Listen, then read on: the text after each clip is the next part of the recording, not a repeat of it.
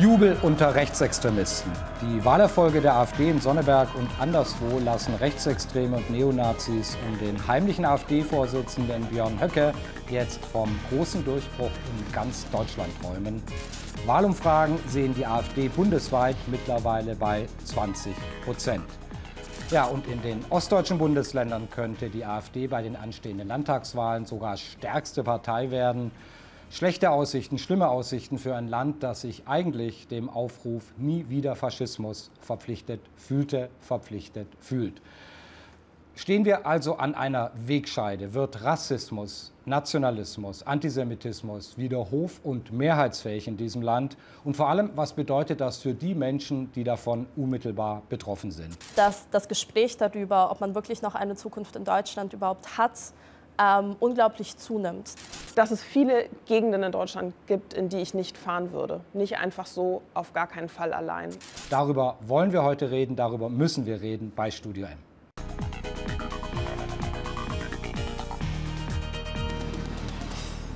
Willkommen euch und willkommen auch meinen Gästen hier im Studio. Ich begrüße Hanna Weiler. Sie ist Präsidentin der Jüdischen Studierendenunion Deutschlands. Das ist eine Organisation, die 25.000 junge Jüdinnen und Juden in Deutschland vertritt. Hallo Hanna. Hi. Dann ist bei uns Josephine Abreku. Josephine beschäftigt sich seit vielen Jahren mit dem Thema Rassismus in Deutschland, hat auch einige Bücher dazu geschrieben und ist, und das muss ich jetzt nachlesen, äh, Gründerin des Instituts für diskriminierungsfreie Bildung in Berlin. Hallo Josephine, schön, dass du da bist. Hallo, vielen Dank für die Einladung. Was genau machst du da in Berlin, wenn du dich gegen Rassismus engagierst? Vor allem, wenn ich das richtig verstanden habe, auch in der Bildungspolitik. Mhm. Also nicht direkt in der Bildungspolitik im Sinne von Parteipolitik, sondern ich mache seit vielen Jahren Bildungsarbeit zum Thema Rassismus und Rassismuskritik. Und im Grunde habe ich angefangen vor ungefähr 15 Jahren, indem ich mich beschäftigt habe mit der deutschen Kolonialgeschichte. Einmal in meinem Studium, aber eben auch in Form von Rundgängen. Das heißt, ich habe ganz viele Stadtrundgänge gemacht mit Personen, die sich für die deutsche Kolonialgeschichte beschäftigt haben. Und darüber bin ich im Grunde eingestiegen in die rassismuskritische Bildungsarbeit. Das heißt, ich habe mit Lehrkräften gearbeitet beispielsweise. Josephine, wir haben es gerade gesehen, 20 Prozent Umfrageergebnisse für die AfD bundesweit, in den ostdeutschen Bundesländern zum Teil bei 30 Prozent. Und da handelt es sich ja um eindeutig rechtsextremistische Parteigliederungen der AfD. Äh, wie groß sind die Sorgen, die du dir machst angesichts dieser Entwicklung, angesichts dieser Zahlen? Ich glaube, es ist so eine, so eine komische Mischung aus mehreren Dingen. Einerseits, glaube ich, mache ich mir aktuell nicht mehr Sorgen als vor wenigen Monaten beispielsweise. Und gleichzeitig ist aber natürlich trotzdem so, dass, weil ich ja beobachte, wie die Gesellschaft sich verändert, weil ich beobachte, wie die Parteipolitik sich aktuell verändert, ja insgesamt sozusagen, also auch offensichtlich äh, parteipolitische Positionen der AfD auch bei anderen Parteien sozusagen vertretbar scheinen glaube ich, bin ich in so einem komischen Zwischenmoment von, ich nehme wahr, es findet eine krasse Veränderung statt. Ich weiß auch von Freundinnen von mir, von anderen Menschen, die aktivistisch tätig sind, von Menschen, die auch in ähnlichen Bildungszusammenhängen tätig sind, wie es bei mir der Fall ist, dass sie schon auch wirklich am eigenen Körper wahrnehmen, das Klima hat sich verändert. Also, das heißt, am eigenen Körper wahrnehmen? Am eigenen Körper wahrnehmen heißt, das Gefühl von Sicherheit nimmt noch weiter ab, als es sowieso schon ab, abgenommen hat. Hanna, gilt es auch für dich und dein Erleben, wenn du an die jüdische Community hier in Deutschland denkst? Ähm, leider ja, absolut. Ich habe gerade sehr vieles wiedererkannt von dem, was du ähm, angesprochen hast. Ähm, vielleicht in meinem Fall, es geht nicht nur irgendwie darum, wie ich persönlich mich fühle, sondern ich bin die ganze Zeit im Austausch mit jungen Jüdinnen und Juden in diesem Land. Es ist meine Aufgabe, ihre Interessen zu vertreten. Ähm, und dieses gesellschaftliche Klima und das Gefühl der absoluten Unsicherheit und auch das Gefühl, nicht genügend vom Staat geschützt zu sein gegen diese Entwicklung, das nimmt auf jeden Fall zu. Mhm. Ähm, was ich gerade sehr, sehr stark äh, wahrnehme, ähm, ist, dass das Gespräch darüber, ob man wirklich noch eine Zukunft in Deutschland überhaupt hat, unglaublich zunimmt. Das ist eine Entwicklung, die mir krasse Sorgen bereitet, weil dieses Gespräch in den letzten fünf Jahren eigentlich total ähm, abgenommen hat, obwohl natürlich die Wahlerfolge der AfD jetzt keine unglaubliche Überraschung für uns sind, sondern ähm, das ja sowieso die ganze Zeit im Raum ist und wir wahrnehmen, dass das gesellschaftliche Klima sich Stück für Stück, ähm, ja, Stück für Stück immer schlechter für uns wird. ähm, ist es keine krasse Überraschung. Also ich meine, Rechtsextremismus, Antisemitismus, mhm. Rassismus hat es davor schon gegeben. Es war Teil unserer Lebensrealität. Ja.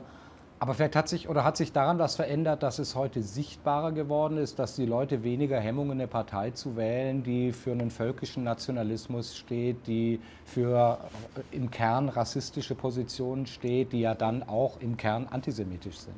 Absolut. Ähm, diese Grenzen des Sagbaren, die Grenzen dessen, mhm. was irgendwie ähm, also ich, ich meine, es gibt ähm, so einen, einen, krassen Unterschied, glaube ich, zwischen dem, was im politischen Raum in Deutschland passiert und was im privaten. Man hat häufiger den Eindruck, dass in Deutschland eine starke Sensibilität herrscht, wenn wir über Antisemitismus sprechen.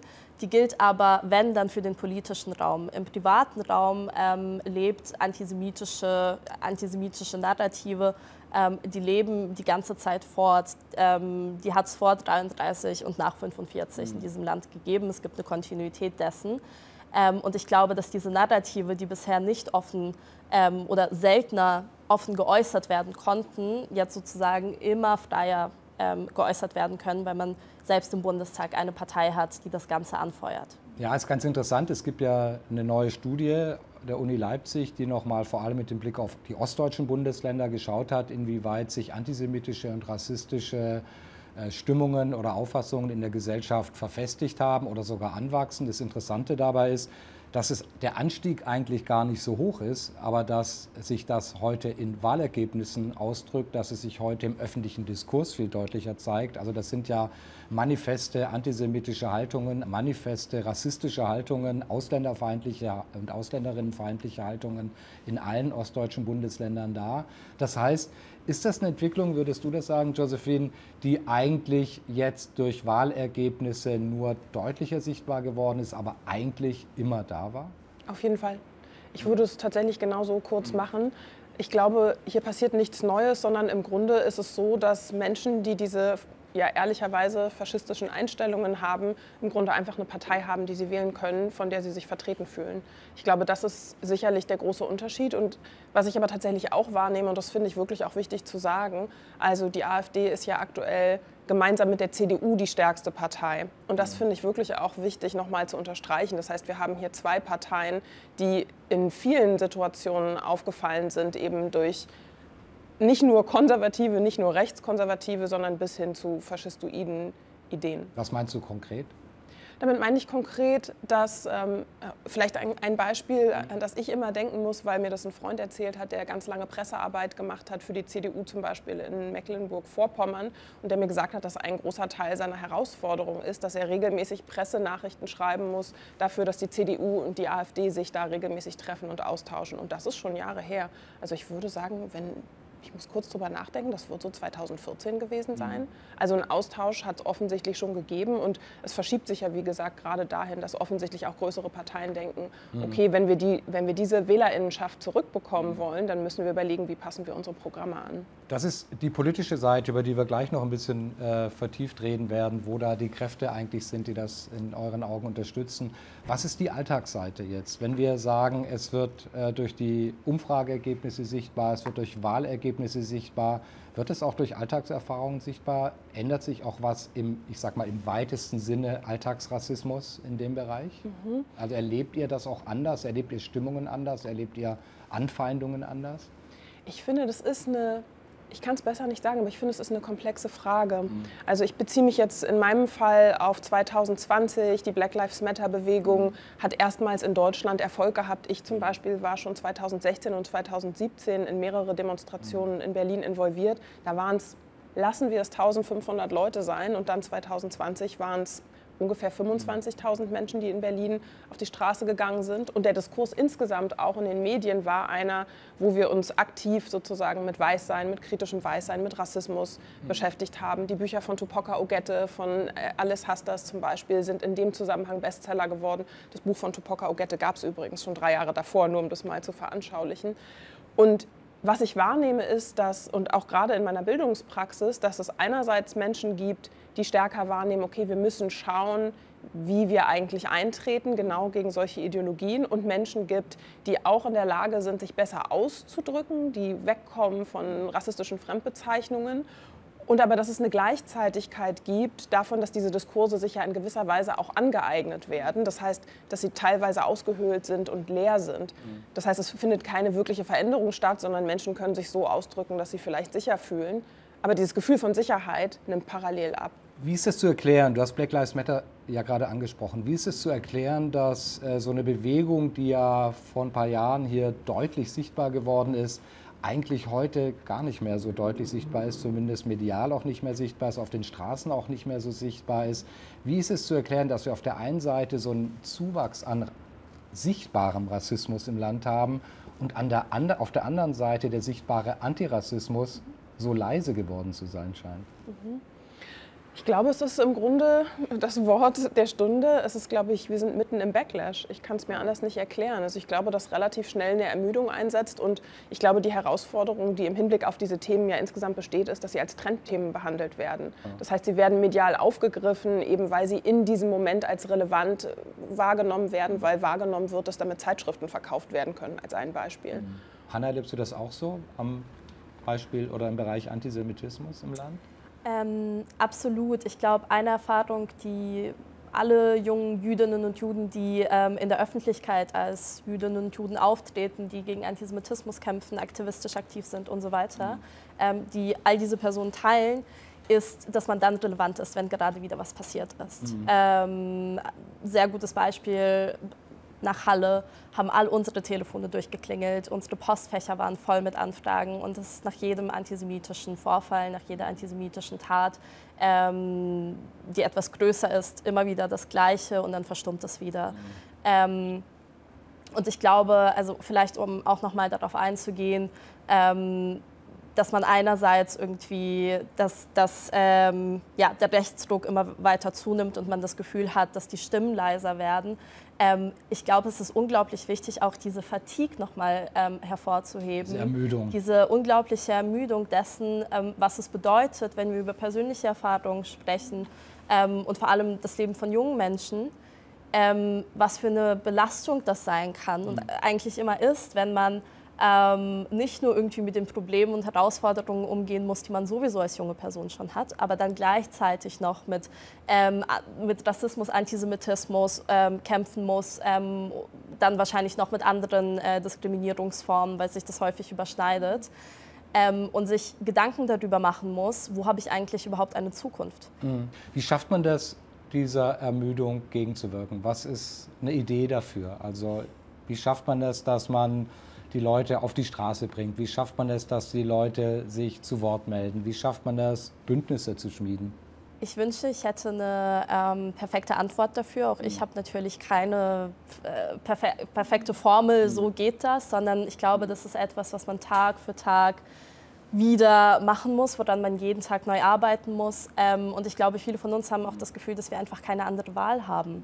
Also dieser Ausnahmezustand, der mhm. ähm, eigentlich immer da ist. Mhm ähm, der bringt einen dazu, wenn die eigene Zukunft auf dem Spiel steht, mhm. dann ähm, ist es keine Entscheidung mehr, die man mhm. trifft, ob man auf die Straße geht oder nicht, sondern man weiß, ähm, und das zeigt uns die deutsche Gesellschaft leider auch immer wieder, ähm, wenn wir es nicht machen, können wir nicht sicher gehen, dass es jemand anders mhm. für uns machen wird. Das ist ein interessanter Punkt. Ne? Ähm, fehlen die Bündnispartner der Zivilgesellschaft im Kampf gegen Antisemitismus und Rassismus? Also fehlt die fehlen die Partner, die, sage ich mal, sonst eher in der weißen Mehrheitsgesellschaft vertreten sind als Bündnispartner? Gibt es mhm. nicht NGOs, zivilgesellschaftliche Organisationen, Parteien? Ich meine, rein programmatisch gibt es ja einige, die mhm. deutlich sich zu Wort melden. Aber was fehlt da genau an Breiten, an breiter Unterstützung aus der Mitte der Gesellschaft? Mhm ich glaube, das Problem ist, dass diese, also es gibt auf jeden Fall BündnispartnerInnen, ja. auf die wir zählen können, die da sind, die mit uns gemeinsam mobilisieren und so weiter und so fort. Und das werden ähm,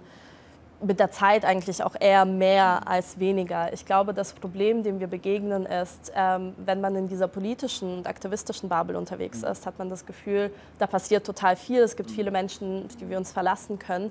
Ähm, und dann verlässt man diese Bubble und merkt, wie sehr man eigentlich in dieser Blase lebt. Ähm, ich glaube, es gibt sehr, sehr viele Menschen in diesem Land, die sich überhaupt keine Gedanken darüber machen, wie es ist, als äh, von Rassismus oder von Antisemitismus betroffene Person in diesem Land zu leben, ähm, die nicht verstehen, was diese Wahlerfolge der AfD für Teile dieser Bevölkerung, die eben von der ähm, menschenfeindlichen Ideologie dieser Partei als erstes leiden werden, was das für uns bedeutet.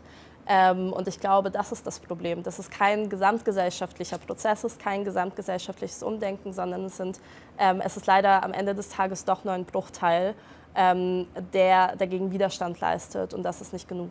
Hat es vielleicht auch damit zu tun, dass gerade beim Thema Antisemitismus so viel vermischt wird im politischen, in der politischen Debatte, dass dann über den islamistischen oder muslimischen Antisemitismus gesprochen wird, um mhm. über den eigenen Antisemitismus mhm. nicht sprechen zu müssen? Das hat bestimmt damit zu tun. Ich glaube, an erster Stelle hat es damit zu tun, dass wenn wir über Antisemitismus sprechen, die meisten Menschen eigentlich ähm, nicht genug wissen ähm, darüber, wie Antisemitismus funktioniert und ihn dem, dementsprechend ähm, nicht, nicht erkennen können und davon ausgehend natürlich auch nicht handeln können. Ähm, Kannst du es mal konkretisieren? Was ist so ein Punkt, wo du sagst, da fehlt der deutschen Mehrheitsgesellschaft grundlegendes Wissen? Ich glaube, wenn man, also wenn wir zum Beispiel so einen deutschen Bildungsweg angucken und wenn wir uns angucken, was weiß man über Jüdinnen und Juden und über Antisemitismus, wenn man in Deutschland die Schule verlässt, dann weiß man, es gab Antisemitismus in Deutschland von 33 bis 45. Danach gab es die sogenannte Stunde Null. Das wird ja auch rein sprachlich ähm, mit Stunde Null vermittelt. Das war es dann. Ähm, und danach war alles wieder gut und davor war alles wieder gut. Gezogen. Dann gab es einen, genau, einen Schlussstrich ähm, und seitdem sind wir ähm, eine Gesellschaft, die sich äh, dem nie wieder verschworen hat. Das ist so das eine. Und das andere ist, dass man überhaupt keine lebendigen Jüdinnen und Juden in der Regel kennenlernt, ja. sondern das Einzige, was man mit Jüdinnen und Juden assoziiert, ähm, das sind die Bilder, die man im Schulbuch sieht ähm, von irgendwelchen KZs mhm. und Leichenbergen, ähm, um das mal so radikal zu sagen. Ähm, und ich glaube, das Hauptproblem ähm, ist einfach, man versteht die Kontinuität nicht. Man versteht nicht Antisemitismus ähm, in der Form, wie die Nationalsozialisten ihn ähm, gelebt und, und verbreitet haben. Der konnte nur in einem Land entstehen, das einen perfekten Nährboden dafür mhm. ähm, geschaffen hat. Und auch nach 1945 ähm, waren Nazi-Größen in äh, Machtpositionen in diesem Land. Und eigentlich müssen wir uns überhaupt nicht wundern, dass die AfD diese Wahlerfolge erzielt, die sie aktuell erzielt. Das, kommt, das entsteht nicht im luftleeren Raum. Aber hast du nicht den Eindruck, oder zumindest ist es mein Eindruck aus dem Erleben dieser Republik, dass es immer mindestens zwei große Strömungen gab? Es gab mhm. die Strömung der Kontinuität, die du angesprochen hast. Das sind die Menschen, die in politische Ämter gekommen sind. Das sind die Leute, die der Nachkriegszeit die Justiz vor allem auch sehr stark geprägt haben, die in den Institutionen weiterhin maßgeblich geblieben sind. Aber dann gab es ja auch sowas wie 68. Mhm. Das heißt, es gab ja auch eine starke Bewegung in diesem Land, die versucht hat, sich dagegen aufzulehnen, die nie wieder Faschismus, nie wieder Krieg versucht hat, als Bekenntnis dieser Republik neu mit Inhalt zu füllen. Und es gab ja dann doch auch breite Strömungen, die versucht haben, nicht nur mit dem Blick zurück, sondern auch mit dem Blick, was Antisemitismus und Rassismus in dieser Gesellschaft bedeutet, für eine andere Politik zu stehen. Macht dir das nicht auch Hoffnung, dass es auch das in diesem Land gibt? Oder warum glaubst du, reicht das nicht? Ähm, sicher macht, also ich äh, glaube, dass beides parallel existieren kann und tatsächlich mhm. auch existiert. Natürlich mhm. sehen wir in ähm, diesem Land viele Menschen, die aus, ähm, von der eigenen Familienbiografie ausgehend mhm. ähm, sagen, dass es ihr, ihnen ein Anliegen ist, gegen Antisemitismus in diesem Land zu kämpfen. Ähm, was mir häufig fehlt, ist die Auseinandersetzung mit der Frage, für wen macht man das? Ähm, weil wenn wir uns beispielsweise so einen 27. Januar anschauen, mhm. ähm, ich, ich sage immer wieder, für mich ist das kein Tag der, der Trauer. Ähm, Jüdinnen und Juden haben in dem Kontext ihren eigenen Tag, das ist Yom HaShoah. Ähm, für mich ist das ein Tag der Wut, weil ich das Gefühl habe, dass die meisten nie wieder, die an diesem Tag fallen, dass es da überhaupt nicht um diejenigen geht, ähm, 27. die von der Januar, weil nicht alle wissen, Befreiung. Genau, das ist äh, der Jahrestag der Befreiung von Auschwitz. Ähm, genau, äh, ich habe ich hab das Gefühl, dass diese vielen Nie wieder, die an diesem Tag erklingen, ähm, dass es da mehr darum geht, sich selbst zu beweisen, man ist heute wieder gut geworden. Und so etwas wäre in diesem Land gar nicht mehr möglich. Mhm. Ähm, und wie gesagt, wiederum nur im politischen Raum. Im privaten Raum sieht es ganz anders aus. Mhm. Ich glaube, im privaten Raum beschäftigen sich sehr wenige damit, was hat mein Opa gemacht, was ist meine Verantwortung. Ähm, das sind am Ende des Tages kleine Teile dieser Gesellschaft. Ja, das ist interessant. Ich äh, habe die Gespräche auch oft mit vielen und habe gesagt, hast du mal tatsächlich dich mit deinem Vater oder deinem Großvater auseinandergesetzt? In meiner Generation sagen viele, ja, jetzt sind sie tot. Und dann sage ich, naja, aber wenn sie noch leben und es gibt ja auch noch die Nachkriegsgeneration, die auch viel von den Eltern mitbekommen hat, die große Bereitschaft, sich in den Familien, in den Biografien damit auseinanderzusetzen, ist eigentlich immer noch erstaunlich gering, auch bei denen, die eigentlich von sich behaupten, dass sie sehr aufgeschlossen sind, was das Thema angeht. Also jetzt nicht von rechts kommen, sondern dass es immer noch so ein Thema ist oder äh, ja, immer noch ein Thema ist, mit dem man sich entweder nicht auseinandersetzen will oder auch nicht neu auseinandersetzen will. Ich will mal so ein paar Zahlen sagen, um das zu verdeutlichen aus der Leipzig-Studie, die ich angesprochen habe, weil mich das schon echt erstaunt hat. Also äh, da sagen das sind jetzt äh, Zahlen äh, aus Ostdeutschland. Da wird immer unterschieden, sind das manifeste oder latente Überzeugungen. Manifest sind die Überzeugungen dann, wenn die Leute sagen, ich stimme dem voll und ganz oder überwiegend zu. Latent ist es, wenn man sagt, äh, ich stimme dem teilweise zu. Und dann sagen tatsächlich rund 34 Prozent der Ostdeutschen latent oder manifest, der Einfluss der Juden sei heute zu groß. In Thüringen liegt die Zahl bei fast 40 Prozent. Und auch fast 30 Prozent, also rund 29 Prozent, das ist fast jeder Dritte, sind in Ostdeutschland der Meinung, Juden passen nicht so recht zu uns. Ähm, ehrlich gesagt, äh, das ist jetzt Ostdeutschland, das ist der Teil der Republik, die eigentlich den Antifaschismus für sich äh, immer ganz besonders in Anspruch genommen hat. Das zeigt, äh, dass äh, über die Jahre hier nicht nur wenig geschehen ist, sondern sich solche Auffassungen auch unter Jüngeren verfestigt haben muss uns das nicht doch noch viel größer Sorgen machen als das, was die Wahlergebnisse im Einzelnen zum Ausdruck bringen? Ich habe jetzt mehrere Gedanken dazu. Ja. Also ich glaube, das eine ist auch wichtig, ist, weil du ähm, den Antifaschismus in der DDR angesprochen ja. hast. Ich glaube, das ist eine Geschichte, mit der man sich auf jeden Fall auseinandersetzen muss. In der DDR ja. hat man den, ähm, hat man, es hat ja eine Universalisierung des Opferseins stattgefunden, weil alle Antifaschisten waren, waren alle Opfer des nationalsozialistischen Regimes. Ähm, und ich glaube, das ist eine sehr spezifische Geschichte, mit der wir uns viel zu wenig auseinandersetzen, ähm, die natürlich auch zugrunde legt, dass diese Entwicklungen in den Ostbundesländern ähm, jetzt so stattfinden.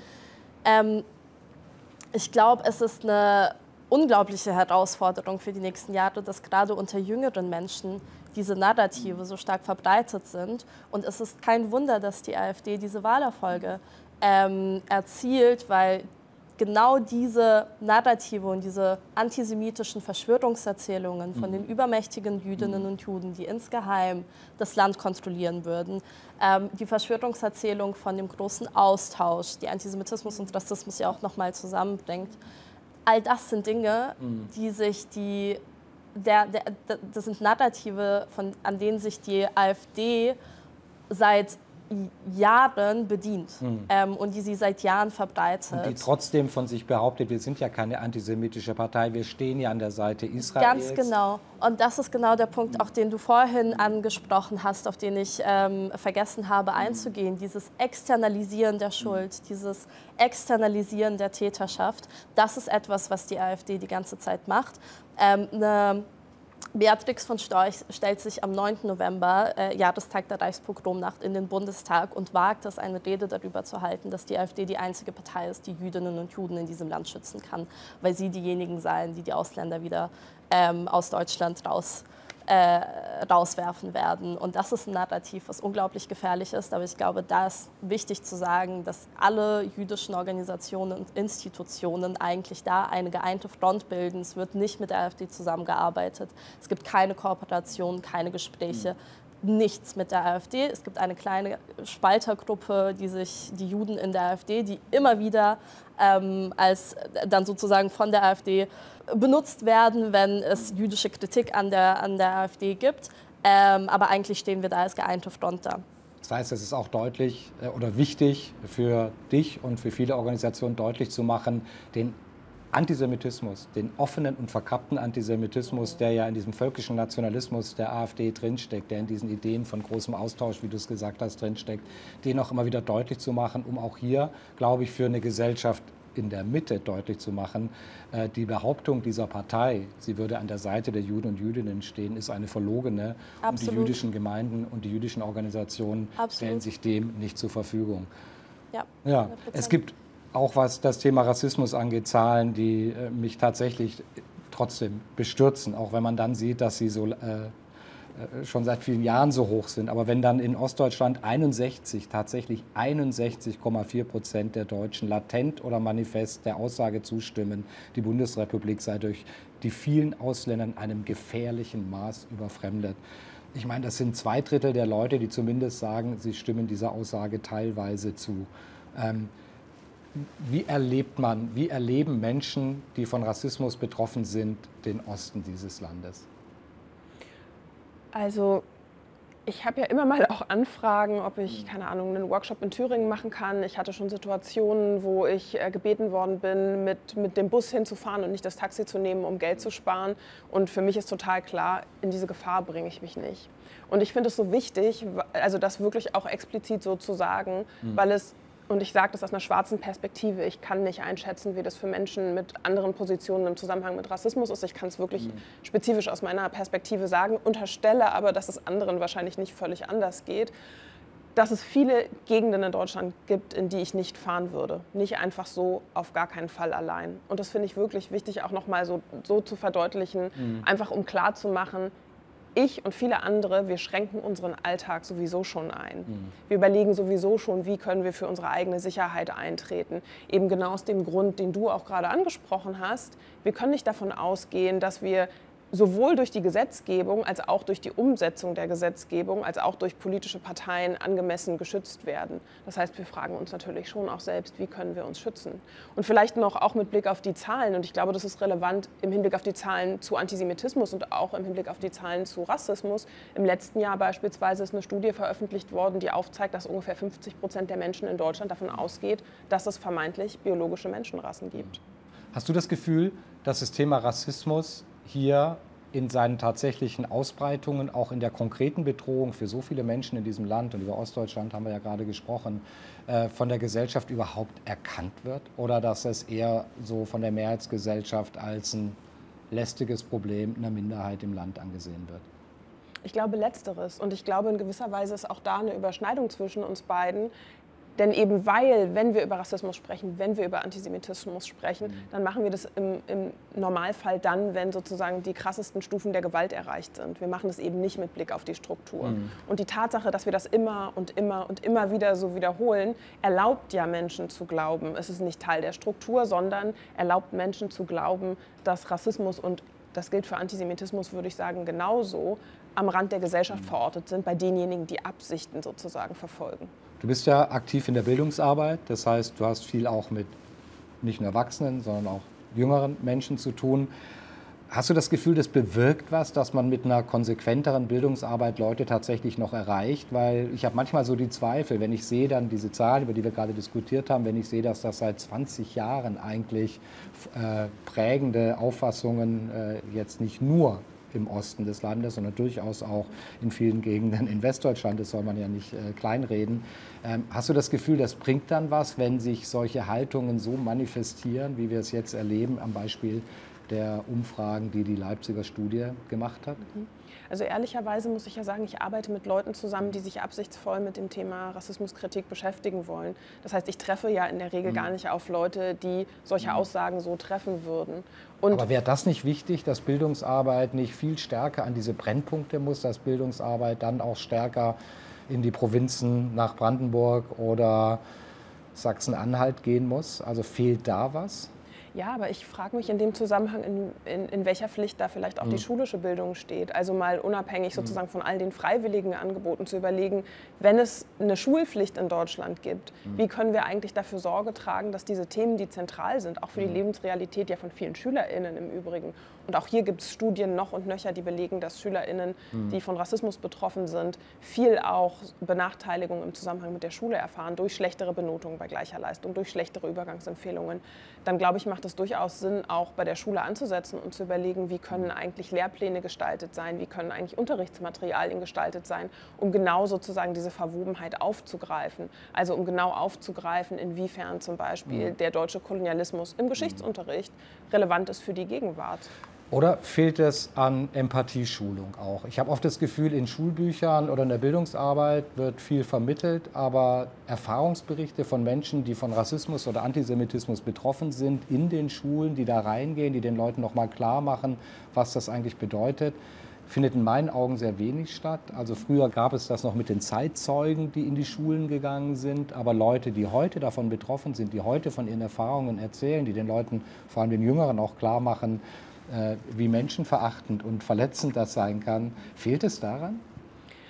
Ich bin da zwiegespalten. Also in den Erziehungswissenschaften ist relativ klar, dass zum Beispiel Bilder von, von Leichenbergen nicht dazu beitragen, dass Menschen empathischer oder sensibler mhm. werden, sondern mhm. eigentlich eher abgestumpft sind gegen die Gewalt, die durch Antisemitismus mhm. und Rassismus reproduziert wird. Ich meinte ja auch durch individuelle. Genau, und gleichzeitig, und das ist genau der mhm. Punkt, und gleichzeitig, ich würde sozusagen so ein bisschen ausweichen mhm. wollen, und gleichzeitig glaube ich, dass zum Beispiel rassismuskritische Bildung auf jeden Fall auch eine emotionale Bildung ist, weil es ja darum geht, wahrzunehmen, in welchen Momenten kommt mhm. eigentlich Abwehr auf? Wie sieht die eigentlich konkret aus? Wo sind sozusagen die mhm. Teile von meinen Emotionen, wo ich behaupte, das ist jetzt nur mein persönliches Gefühl, mhm. das aber eigentlich dafür sorgt, ich muss mich jetzt hier mit diesem Thema nicht mehr befassen. Und ich weiß nicht, ob das funktioniert darüber, dass Personen ihre eigenen Geschichten erzählen. Was ich aber glaube, ist, dass wir einfach insgesamt, also ich gehe nochmal zurück auch zur schulischen Bildung, eine klarere Haltung haben müssen im Hinblick auf Rassismuskritik. Und nur mal so, in der Lehrkräfteausbildung ist mhm. es überhaupt nicht notwendig, sich mit Diskriminierungskritik im Allgemeinen, und damit mhm. meine ich gar nicht nur mhm. Rassismus, äh, zu befassen. Und das ist mhm. doch ziemlich atemberaubend, wenn wir überlegen, dass Lehrkräfte mit SchülerInnen arbeiten mhm. müssen, die aber von all diesen Dingen negativ betroffen sind. Ja, das stimmt. Allerdings gilt das auch für das Thema Antisemitismus, du hast so genickt. Ja, ja, ich wollte, äh, genau, ich, äh, gut, dass du es jetzt nochmal gesagt hast. Ich glaube, das ist ein Punkt, an dem wir sehr, ähm, ja, irgendwie immer wieder dran sind, dass es kein verpflichtendes Modul gibt für angehende Lehrkräfte, sich damit auseinanderzusetzen. Und ähm, wenn man junge Jüdinnen und Juden beispielsweise fragt, was ist so der Raum, in dem ihr am meisten Antisemitismus erlebt habt, dann ist der Raum Schule, dann ist der pädagogische Raum auf jeden Fall so ähm, ja, einer der Brennpunkte sozusagen, wo ähm, die meisten antisemitischen Erfahrungen stattfinden. Ähm, gerade in dem Alter, in dem das ähm, unglaublich viel für deine persönliche Entwicklung bedeutet. Ähm, und das Problem ist häufig, ähm, also einerseits geht der Antisemitismus nicht notwendigerweise nur von den MitschülerInnen aus, sondern häufig auch von den Lehrkräften selbst. B ist, dass ähm, Lehrkräfte diesen, wenn er passiert im Klassenraum, mhm entweder überhaupt nicht erkennen ähm, und deswegen nicht handeln können oder ihn erkennen und trotzdem nicht wissen, wie mhm. sie handeln. Ähm, das ist das eine. Das andere ist, glaube ich, auch so überhaupt diese, diese Exotisierung, die gleichzeitig die, äh, durch Lehrkräfte stattfindet. Exotisierung. Exotisierung, mhm. also beispielsweise die Tatsache, dass irgendwie immer wieder das einzige jüdische Kind im Raum mhm. das Referat über Auschwitz halten muss oder die ganze Verantwortung dafür bekommt, die Klasse darüber aufzuklären, mhm. was es bedeutet, jüdisch in Deutschland zu sein. Ähm, das ist ziemlich viel Gewicht auf den Schultern von jungen Menschen ähm, und muss eigentlich die Verantwortung der Lehrkräfte sein. Aber wenn die Lehrkräfte nicht geschult mhm. sind, ähm, um das zu erbringen, dann äh, passiert das auch nicht. Also ja, stimme dir wirklich bei allen Punkten ja. zu. Bildungsarbeit ist der eine wichtige Punkt. Der andere, den wir vorhin nur mal angesprochen haben, wo ich gesagt habe, wir kommen gleich noch mal darauf zurück, ist die Frage der politischen Verortung mhm. von Antisemitismus und Rassismus in diesem Land. Äh, ihr hattet es vorher angedeutet, dass es auf Seiten der Union äh, da offene Flanken gibt. Ich meine, wir haben das in der Diskussion um Hans-Georg Maaßen bei der CDU erlebt. Wir haben das im Zusammenhang äh, mit der Rede äh, von Frau Pechstein und der Zustimmung von Herrn Merz auf dem CDU-Bundesparteitag mitbekommen oder bei, bei dem Treffen der Partei in Berlin. Ähm, jetzt frage ich mich, ist es allein eine Frage der Union und der AfD oder ist es in euren Augen auch eine Frage, die über die beiden Parteien hinausgeht? Und wenn ja, Wer ist da in euren Augen von den politisch wichtigen großen Parteien wie gefordert? Hm. Also ich würde vielleicht so rum. Es geht in jedem Fall über die beiden Parteien hinaus und ich glaube, genau darin besteht ja auch das Problem. Also wir können auch ein bisschen zurückschauen und ich glaube, das macht sicherlich auch Sinn. Ich denke direkt an Thilo Sarrazin, SPD mhm. zum Beispiel. Also Personen, die solche Haltungen salonfähig machen, gab es und gibt es in allen Parteien. Und ich glaube, genau das ist die Herausforderung. Ich denke an Sarah Wagenknecht, ich denke an Boris Palmer. Also ich glaube, wir haben hier ein grundsätzliches Problem und ich glaube, da müssen wir noch mal rekurrieren, auch zu dem, wovon wir beide ja gerade schon gesprochen haben.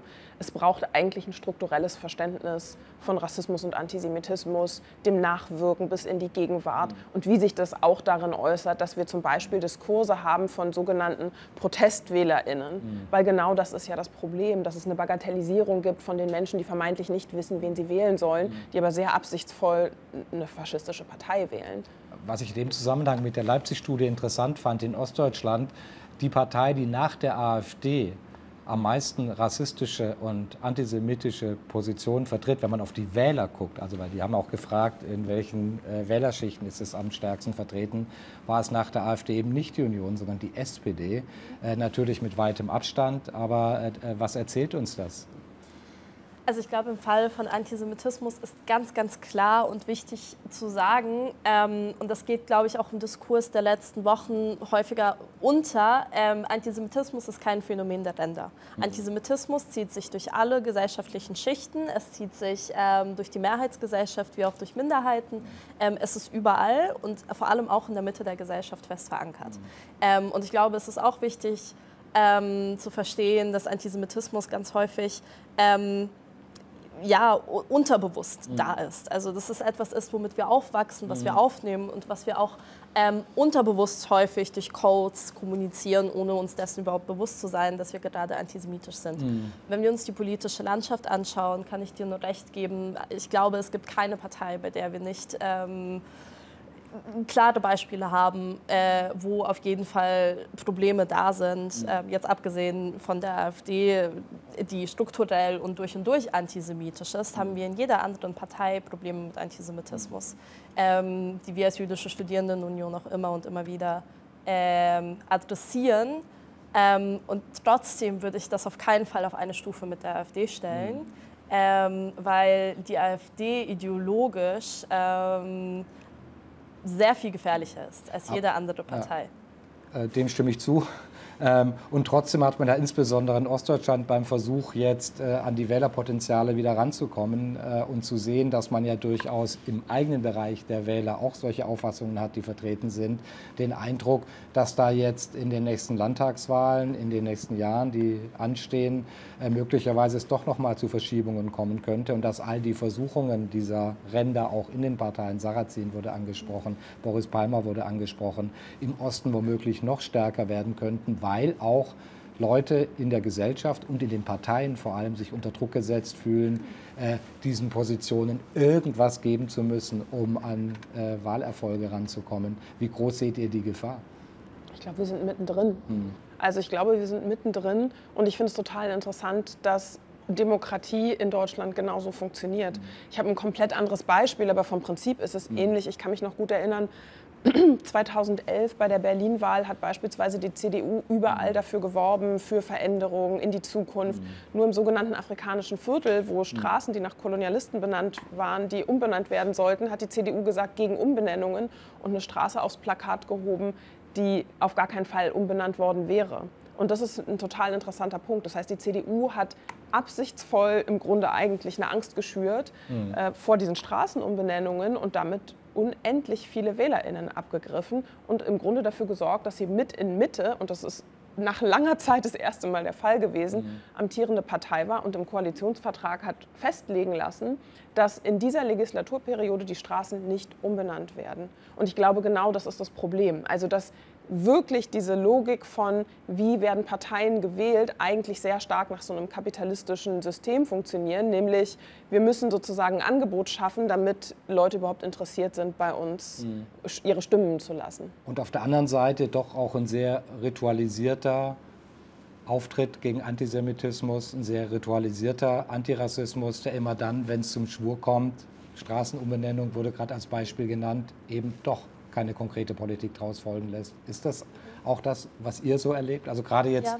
wir haben ja, wir haben ja eine, dieses Land ist ja so stolz auf seine Erinnerungskultur, das Land ist ja so stolz auf seine Gedenktage, das Land ist ja so stolz darauf, dass es sich so klar äh, gegen, äh, äh, offiziell gegen Antisemitismus ausspricht und solidarisch mit Israel erklärt. Wir hatten eine Kanzlerin, die das sogar zur Staatsräson des eigenen Landes erklärt hat.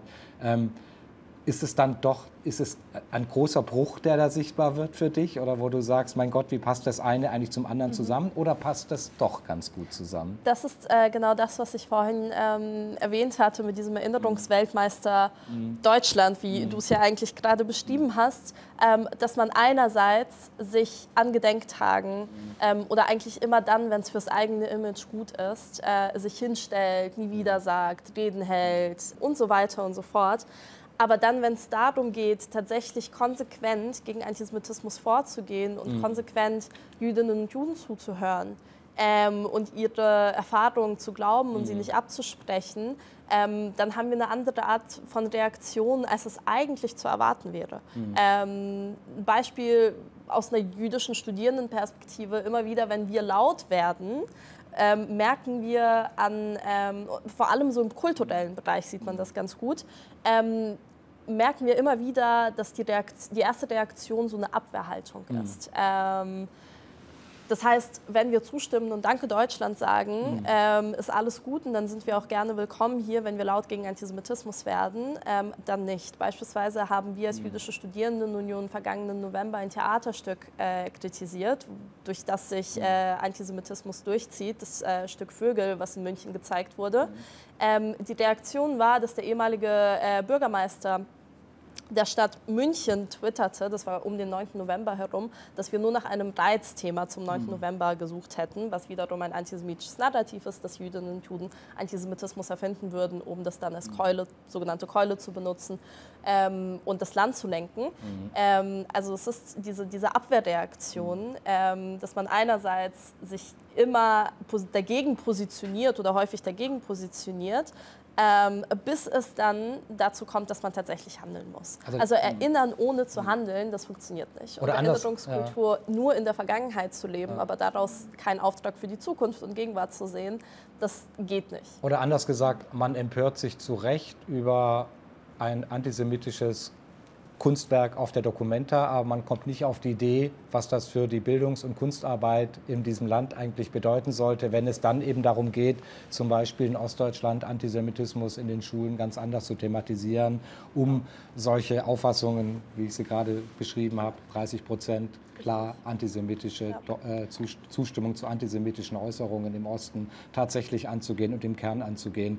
Wir haben über Bildung gesprochen, wir haben über die Parteien gesprochen. Ich würde gerne über die Medien in diesem Land sprechen, mhm. äh, weil das ja keine ganz unwichtige Geschichte ist. Wir haben ja äh, bei beiden großen Themen äh, geradezu Kulturkämpfe, die auch in den Medien ausgetragen werden. Wir haben, einen großen, wir haben große Kulturkämpfe, die von rechts in diesem Land geführt werden. Ähm, die äh, zum Teil von der Springerpresse mit äh, äh, gepusht werden. Wir haben aber auch die öffentlich-rechtlichen Medien und deren Auseinandersetzung oder Nicht-Auseinandersetzung mit Thema Antisemitismus und Rassismus. Wie erlebt ihr die Medien in diesem Land, wenn ihr, oder vielleicht an dich erst noch die Frage, wenn es ums Thema Antisemitismus geht? Ähm, wenn wir über das Thema Antisemitismus und Medien sprechen, ähm, dann ist da eine Kritikpunkt, den man äußern kann, dass es meistens nur dann um uns geht, ähm, wenn mal wieder was passiert ist, worüber mhm. wir auch gesprochen haben, oder dass jüdisches Leben irgendwie auf so eine absurde mhm. und unauthentische Weise dargestellt wird meistens, ähm, weil man irgendwie gar nicht weiß, also so diese, diese Bebilderung, ja. die dann einsetzt, ähm, ist einfach total unnatürlich und hat mit echtem jüdischen Leben mhm. eigentlich häufig nichts zu tun. Ich stelle die Frage auch vor dem Hintergrund, dass ich den Eindruck habe, dass das, was wir so an Veränderungen, Verschiebungen, Normalisierungsprozessen, das sind ja die Themen, über die wir hier sprechen, in der Gesellschaft erleben, durchaus auch in den Medien beobachte und durchaus auch im eigenen öffentlich-rechtlichen System beobachte. Also ähm, am Beispiel, dass äh, zunehmend ohne größere Probleme AfD-Politiker in größere Runden eingeladen werden, dass dann doch äh, äh, bestimmten Positionen eine Bühne gegeben wird, dass unter der Vorstellung von Ausgewogenheit hier eine False Balance zwischen klar rassistischen Positionen auf der einen Seite und demokratischen Positionen auf der anderen Seite hergestellt wird und dass mit den zunehmenden Wahlerfolgen der AfD das ein Prozess ist, der sich weiter verschärfen wird, weil dann der Druck plötzlich groß wird, oh, äh, wir müssen diese Position ja abbilden. Wir haben das gerade beim MDR mitgekriegt, das Moderatorenteam fürs Mittagsmagazin nicht mehr diese Sendung moderieren soll, weil sie offenbar zu wenig Ostdeutschland repräsentieren und natürlich äh, People of Color sind, also Leute, die äh, anders aussehen, als sich das vielleicht äh, die Spitze des MDR im eigenen Haus vorstellt. Das sind ja alles Entwicklungen, die wir auch in letzter Zeit beobachten. Wie groß sind die Sorgen, die du dir machst, wenn du dir all diese Sachen anschaust, die wir in den letzten Jahren erlebt haben und die wir jetzt möglicherweise verstärkt erleben? In gewisser Weise nicht groß, einfach weil ich meine Arbeit mache und die werde ich auch weiterhin machen. Daran wird sich erstmal nicht so super viel verändern. Und trotzdem glaube ich, aber gibt es einen Überschneidungspunkt auch hier zwischen uns. Du mhm. hattest vorhin davon gesprochen, dass es Leute gibt, die sich fragen, habe ich hier überhaupt noch eine Zukunft? Und mhm. das ist eine Frage, die ich auf jeden Fall wahrnehme, die es in, in Communities, die von Rassismus betroffen sind, auch gibt. Natürlich ist da immer die Frage, welche, wer hat welche Möglichkeiten, wer hat tatsächlich auch die Möglichkeit, einfach auszureisen und so weiter. Das ist mhm. nochmal auch eine eigene Diskussion mhm. und auch eine wichtige Diskussion, finde ich.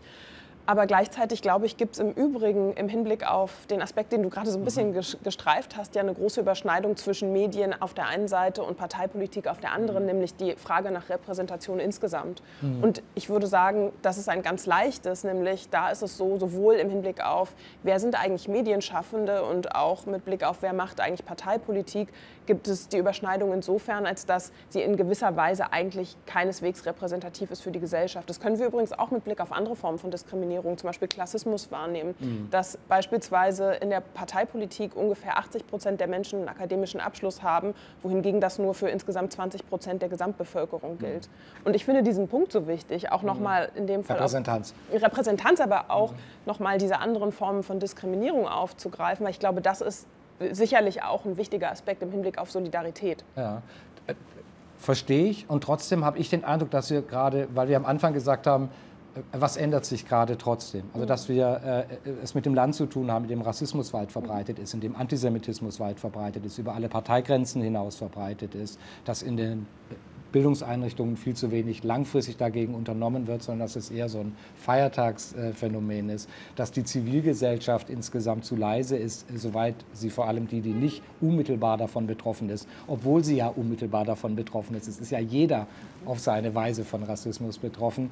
Ähm, jetzt noch mal zur Frage der Medien insbesondere, weil wenn da eine Verschiebung ja auch entsteht, nicht nur weil private Medien meinen, sie müssen ein bestimmtes Klientel oder äh, Zuschauer bedienen, sondern weil man eben auch unter diesem unter diesem Gesichtspunkt der Ausgewogenheit die Türen immer weiter aufmacht. Mhm. Und dass damit eben eine Normalisierung von Antisemitismus, Rassismus, Nationalismus, Rechtsextremismus stattfindet, die sich dann ja auch schwer wieder zurückdrehen kann. Das heißt, dass das, was wir in den letzten Jahren als Verstetigung von Auffassungen hatten, mhm.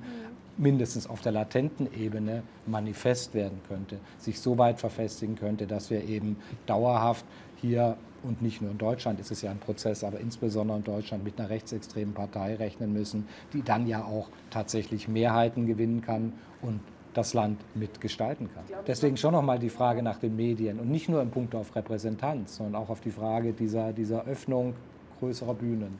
Aber ich habe nicht das Gefühl, dass es neu ist. Und ich glaube, das ist der Punkt. Also ich habe nicht den Eindruck, dass das neu ist, sondern ich habe den Eindruck, dass wenn wir uns anschauen, wie zum Beispiel der Umgang mit der, mit der AfD insgesamt medial war über die ganzen Jahre hinweg, dann ist es eigentlich immer gewesen, so ein Hangeln von, bis es schlimmer wird, bis es noch schlimmer wird, bis es noch schlimmer wird. Und eigentlich wird da die ganze Zeit mitgegangen. Deswegen habe ich jetzt keine akute Sorge sozusagen. Ich habe nicht den Eindruck, dass, dieser Normalisierungs, dass diese Normalisierungsschraube jetzt noch mal so eine ganz entscheidende Umdrehung weitergeht. Das ist mein Eindruck. Also ich meine nicht das Phänomen, sondern ich meine diese, auf der Normalisierungsebene, dass es noch anerkannter ist, dass man sich noch weniger aufregt, dass, dass selbst die Aufregung über Rechtsextremismus irgendwann zum Ritual verkommt. Aber ich glaube, genau darin besteht das Problem, in der beständigen ja. Aufregung. Ich glaube, die existiert nicht, die ständige Aufregung. Bitte? Ich habe das. Äh, Nochmal, äh, jetzt will ich nur kurz, äh, damit ich es verstanden habe. Das Problem besteht in der ständigen Aufregung? In der, in, der Aufre in der Aufgeregtheit, eben weil es kein Verständnis von, von den Strukturen gibt, gibt es immer nur sozusagen diese hohe Emotion von etwas ganz Schreckliches passiert. Mhm. Und gleichzeitig passiert eben aber nichts Klares zum Eintritt dagegen. Das ist mein Punkt. Ah, okay. Das heißt, wir schwingen uns eigentlich die ganze Zeit nur von mhm. einer sozusagen emotionalen Spitze zur nächsten, anstatt zu überlegen, okay, aber was machen wir eigentlich damit? Wie gehen wir eigentlich als Medienhäuser damit um? Mhm. Es gibt keinen Umgang. Und die emotionalen Spitzen verändern sich aber. Das heißt, das, worüber man sich früher aufgeregt hat, regt man sich heute möglicherweise gar nicht mehr auf, weil man es schon als normal auch betrachtet und dass dann dieses sich hangeln zu emotionalen Spitzen dazu führt, dass man sozusagen nach Aufregungspotenzialen sucht, die man dann immer weniger findet und dass dann der Punkt, an dem man sich tatsächlich grundsätzlich mit Rechtsextremismus und Nationalismus, Antisemitismus und Rassismus auseinandersetzt, gar nicht mehr stattfindet. Verstehst du, was ich meine? Total, ja. total. Also sozusagen, dass die, die Erregungsspirale äh, gekappt wird, weil die Normalisierung mhm. dieser Positionen so breit stattgefunden hat. Also ich glaube, man muss da auch wiederum trennen, wo, mhm. wer regt sich eigentlich auf? Mhm. Für wen ist das ein Skandal, dass das mhm. jetzt passiert? Mhm. Für wen ist es tatsächlich irgendwie mhm alltagsgestaltend, wer läuft damit rum und mhm. denkt darüber nach und beschäftigt sich damit und wer nimmt das einfach hin und sagt, naja, mir wird schon weiterhin gut gehen. Also mhm. es gibt, ich glaube, es ist ein Privileg, dass mhm. man sich nicht äh, damit beschäftigen muss, ähm, weil man von bestimmten ähm, Diskriminierungen nicht betroffen ist. Und ich glaube, ein großer Teil dieses Landes macht sich gar nicht so viele Gedanken darum, mhm. was das für die Zukunft des Landes bedeutet. Ich glaube, das, was tatsächlich, also was uns tatsächlich Sorgen macht, ist, wann es in der politischen Landschaft ganz normal wird, mit der AfD zu koalieren. Hm. Ähm, diese Dammbrüche, die gibt es bereits, 2020 äh, Thomas Kemmerich in Thüringen ähm, und so weiter und so fort. Ich glaube, das ist etwas, wovor, was für uns tatsächlich eine reale Sorge ist, der Moment, ab dem es normal wird, eine Koalition mit der AfD einzugehen und ab dem es ähm, diese Koalition mehr und mehr gibt. Im ähm, Hintergrund waren ja die Äußerungen äh, insbesondere von CDU-Politikern aus dem Osten richtig. angesichts der Wahlerfolge in Sonneberg genau. dann doch ganz interessant. Ne? Also zu sagen, dass äh, ist hier auf kommunaler Ebene geht es gar nicht anders. Das ist eine Notwendigkeit. Das waren ja plötzlich äh, politische, kommunalpolitische Zwänge, die den großen Dammbruch und das Einbrechen der Brandmauern dann gerechtfertigt haben. Aber vielleicht sind es ja nicht nur die Brandmauern, und das knüpfe ich an das an, was ihr vorgesagt habt, vielleicht sind es ja gar nicht nur die Brandmauern gegenüber der AfD, sondern vielleicht müssten die Parteien grundsätzlicher sich Gedanken machen, was Brandmauern gegen Antisemitismus und Rassismus in diesem Land bedeuten würde. Das würde was ganz anderes meinen, als nur sich gegen die AfD abzugrenzen im Sinne eines Mehrs. Ich würde gern den letzten Teil des Gesprächs dann doch nochmal, weil das ist ja an sich eine dramatische Entwicklung. Wenn ihr sagt, äh, es gibt viele Juden und Jüdinnen, die sich überlegen, das Land zu verlassen, wenn viele Menschen, die von Rassismus betroffen sind, sich überlegen, äh, mindestens Ostdeutschland zu verlassen, aber vielleicht auch bald den Rest des Landes, dann ist es ja eine dramatische Entwicklung und äh, eine dramatische Entwicklung nicht nur für die Betroffenen, sondern für das Land insgesamt. Ähm, was glaubt ihr denn, wenn wir uns überlegen oder wenn ihr euch überlegen würdet, was wären denn Bündnispartner für eine neue, breite Bewegung in diesem Land, die nochmal ganz neu Anlauf nimmt, breiter Anlauf nimmt, grundsätzlicher Anlauf nimmt, um diese Entwicklung zu stoppen? Also ich glaube, der Punkt, ähm, der mir total wichtig ist in dem Zusammenhang, ist einfach auch nochmal Menschen darauf hinzuweisen, dass es sich lohnt, das Programm der AfD sich mal anzuschauen. Mhm. Weil tatsächlich ist es ja so, ja, Antisemitismus ist in dem Zusammenhang relevant, Rassismus ist in dem Zusammenhang relevant, aber alle anderen Formen von Unterdrückung eben auch. Mhm. Also das Parteiprogramm äh, besteht unter anderem daraus, dass Klimawandel vermeintlich nicht real ist. Wir sind aber mittendrin. Also wie gehen wir damit um? Das Parteiprogramm besteht unter anderem auch daraus, dass äh, Alleinerziehende zum Beispiel nicht in irgendeiner Form unterstützt werden sollen, außer wenn sie vermeintlich sozusagen unverschuldet, also durch den Tod ähm, des der Partnerin sozusagen überhaupt alleinerziehend geworden sind. Alles, was da steht zum Thema Mutterschutz und wie irgendwie mit Kindern umgegangen werden muss, mhm. erinnert mich doch sehr stark an Sachen, die es in Deutschland schon so gegeben hat, und zwar. In wirklich sehr düsteren Zeiten. Von daher, ich, was ich mir wünschen würde, das kann ich anders wirklich nicht sagen, ist, dass mehr Menschen wahrnehmen, das ist nicht ausschließlich eine Bedrohung für Menschen, die von Rassismus betroffen sind. Und es ist nicht ausschließlich eine Bedrohung für Menschen, die von Antisemitismus mhm. betroffen sind. Es ist eine Bedrohung, Punkt.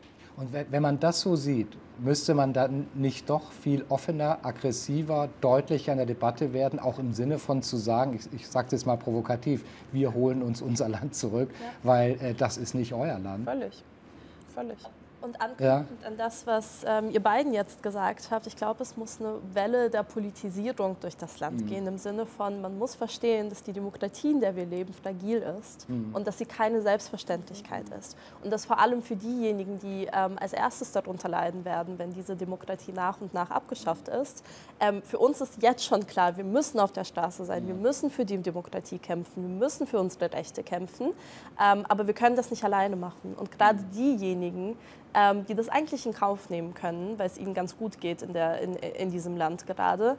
Ähm, gerade die müssen aufwachen und verstehen, ähm, dass es auch was mit ihnen zu tun haben wird, dass es auch negative Auswirkungen auf ihre Zukunft hat ähm, und dass auch sie diesen Widerstand leisten müssen.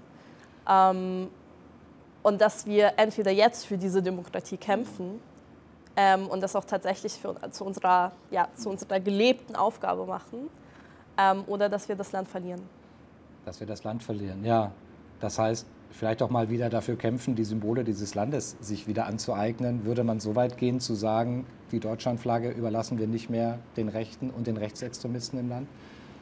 Oh. Schwierig. Ja, ich wollte nur sagen, am Ende wird es aber ja auch um die Symbole und die Institutionen dieses Landes gehen, wenn man diesen Kampf zu Ende führen will. Das wird eine spannende Debatte noch werden. Aber ähm, ja, erstmal vielen Dank soweit. Also, wenn ich das richtig verstanden habe, ist das auf jeden Fall ein Plädoyer für ein neues Manifest, für eine neue starke Bewegung in diesem Land gewesen, die sich klar macht, dass es eine breitere Bewegung als nur der, derer ist, die als unmittelbar betroffen gelten, weil es uns alle betrifft. Vielen Dank für dieses sehr interessante und sehr eindrückliche Gespräch, äh, das wir hier führen könnten, konnten. Vielen Dank euch, dass ihr bis zum Schluss drangeblieben seid. Das war's von Studio M. Äh, wir werden diese Diskussion ganz sicher weiterführen und wir freuen uns natürlich, wenn ihr unseren Kanal abonniert, beim nächsten Mal auch wieder mit dabei seid. Ich sage vielen Dank an meine Gäste hier, vielen Dank an euch und tschüss aus Köln.